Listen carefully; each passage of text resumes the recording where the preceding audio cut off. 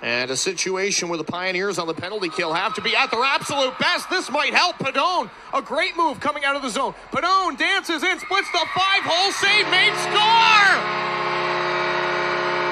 Abby Lillis with Utica's second shorthanded goal of this game. What a play by Pedone